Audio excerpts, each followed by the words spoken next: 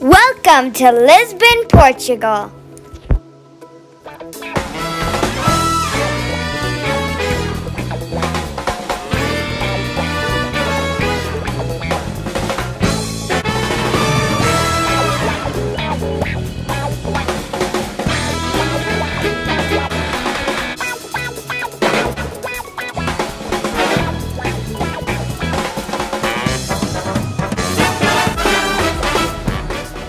We are on our way to St. George's Castle. Lisbon isn't ideal for walking because there's hills everywhere. The ground is also cobblestone, so it's kind of bumpy.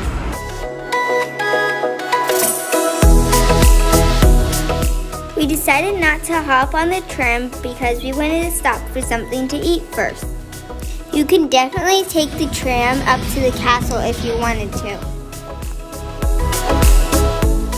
We stopped into a local grocery store with a variety of takeout items to try. We have some traditional Portuguese food. This is a chorizo. This is an empanada with meat in it. This is Napolitan. This is coffee. This is homemade potato chips. This is a tuna not tuna salad, tuna sandwich. This is a chocolate croissant, and then another cheese. This is another traditional Portuguese fish. In this grocery store, we found a display of bacalhau. It is cod that's been salted and dried. Sorry, but we didn't try this one. Lisbon is a seaside town and fish is an important staple in their diet. The prices here are in euros. The euro is worth a little more than the US dollar. After lunch, it was time to continue our walk up to the castle. When walking, there are many interesting things to see in the city, including the artwork underneath your feet.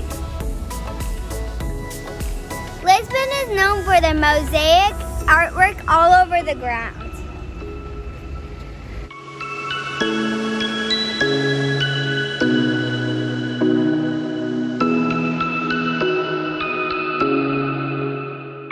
The small vehicle right there is called a tuk-tuk. It's kind of like a taxi. Even though we could have taken a transportation option, we decided to walk up to the castle anyways.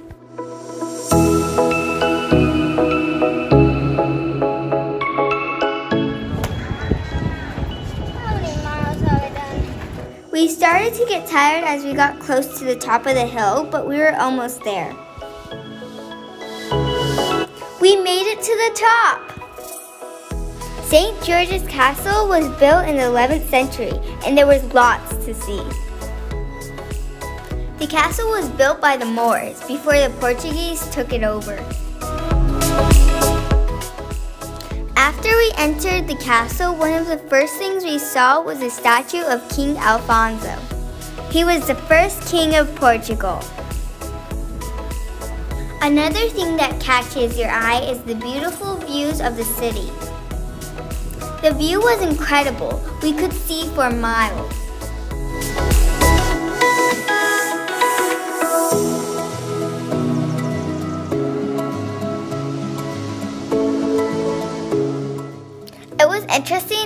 Different pieces of the castle, like this water basin. It was used to catch rainwater for the people to use and this table and chairs that people have used for hundreds of years.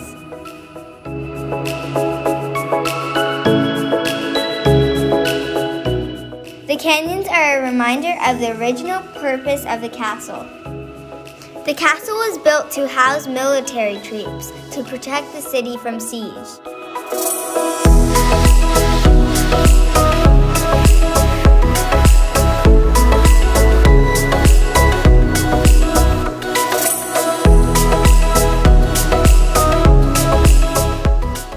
Parts of the castle were actually destroyed during an earthquake in 1755.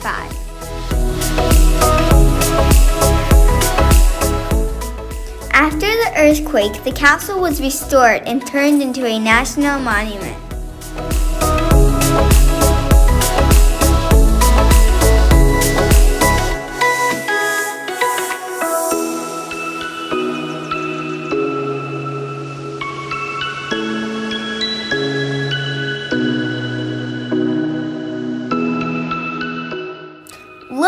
You can even see where the moat surrounded the castle at one time.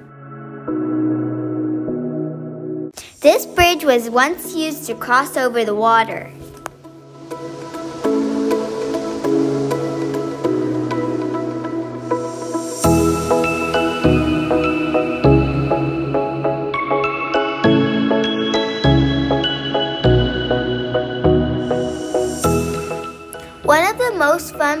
Was climbing up to the top of this castle.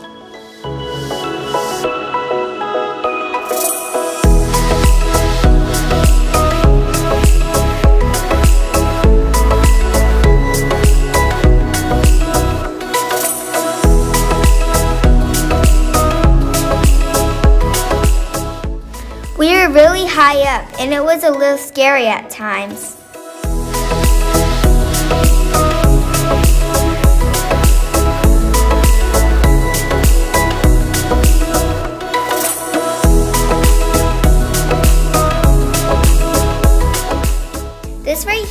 Old well that was used as a water source in the castle.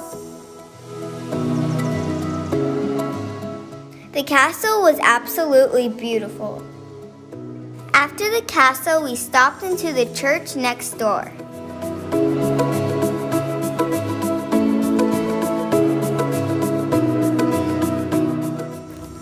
Then we took a bus back to our hotel.